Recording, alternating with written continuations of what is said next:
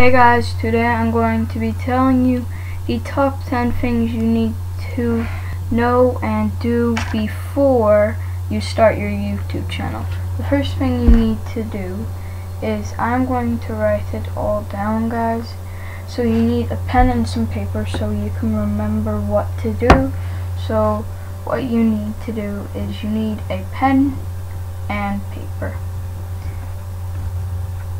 So guys, once you get your pen and paper, you can start getting your tips. And what you next, secondly, want to do is watch other YouTubers' videos um, to find out what to do.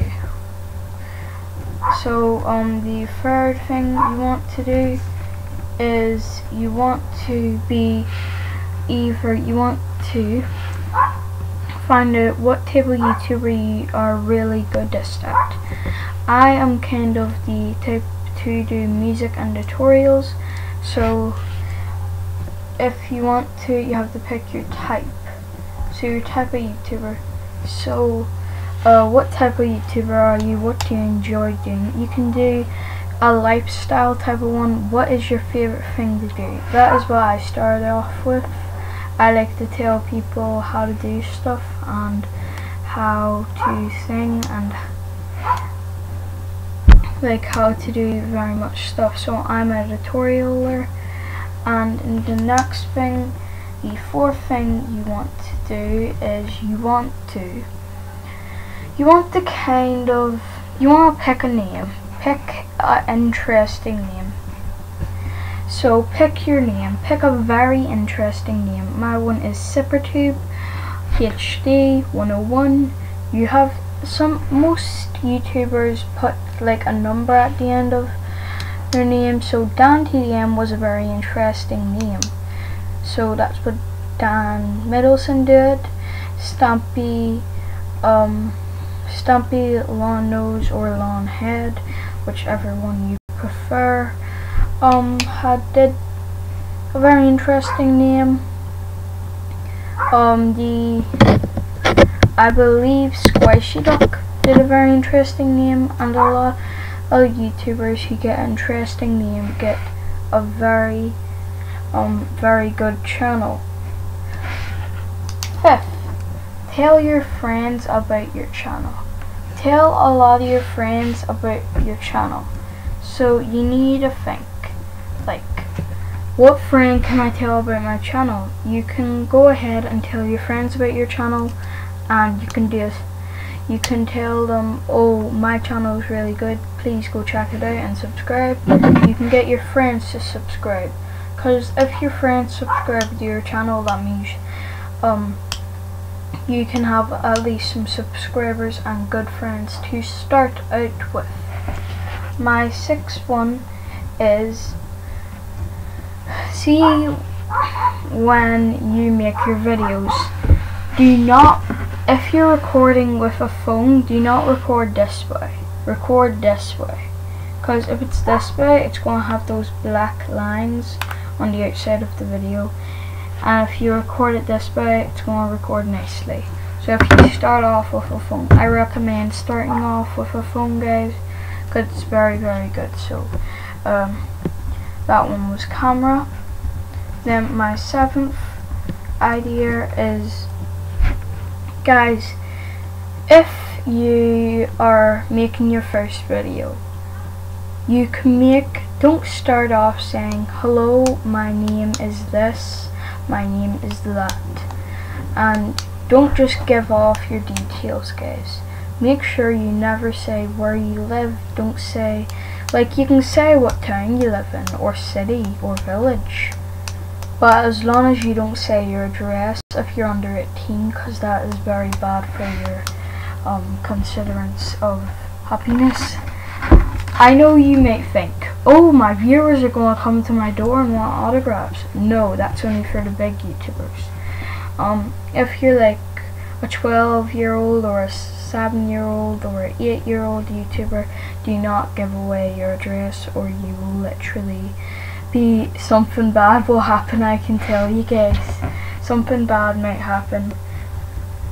So never tell your address on YouTube unless you're big and you want like cause that's how you get paparazzi. That's how you get like a lot of people wanting to um like take photos of you and literally that's how you get badness. When you're grown up you can do that if you want. People coming to get your autograph. But when you're only a wee kid this will just get you bad stuff happening to you and very bad stuff. And you don't want to be one of those youtubers who get all that bad stuff. Pe bad people coming to your door saying oh I'm a big fan. But yeah but then something bad just happens guys. It always happens and then my eighth one is what you want to do then is you want to find a place in your house which is very quiet. I pick my bedroom or my parents' bedroom. Like a couple of my videos were in my parents' video bedroom but here I am in my bedroom. Pick a nice background. Just some people do green screens. I know Most Amazing Top 10 has the big like um, Most Amazing Top 10 behind them so pick a nice background. Some people do green screens, but that co just costs money. So you just do this type of background instead. You can you can even write on your walls if you believe you want to. You can even paint your walls if you want to to make it more great. So that one was background. My ninth one is guys when you're in your videos, speak loud if you don't have a camera, cause if you don't have like a microphone, you have to speak loud, like very loud guys. Don't shout, just don't shout guys, but speak loud. Speak very very loud and that means you can speak more efficiently and um, people can actually hear you. So loudness, that was the one and the tenth one is the tenth one is my last one guys when you're a youtuber do not go like guys when you're a little youtuber and you're too afraid to do youtube you make you need to make sure you'll actually want to do youtube so do you want to do youtube you want. It you you don't just do YouTube. If your friends doing YouTube, you can ask your friend if you can be in one of their videos, and then that might encourage it. Just go into someone else's YouTube video and be with them for a video so they can start you up and help you when they're a YouTuber. Do that guys. I haven't done that but guys it's because I really wanted to do YouTube very badly. But if you are not sure about YouTube, if you don't know the basics, um, just go to one of your friends, your very good friends, go to them, ask them like a question or few, be in one of our videos, see how it feels like, and if you don't want your friend to upload that video, I'm sure they will not upload the video, and they can do the video of someone else. Do not be shy on your videos because guys if you don't want to do it don't do it. Goodbye that was my top 10 tips on what you should know before you make a YouTube channel. Goodbye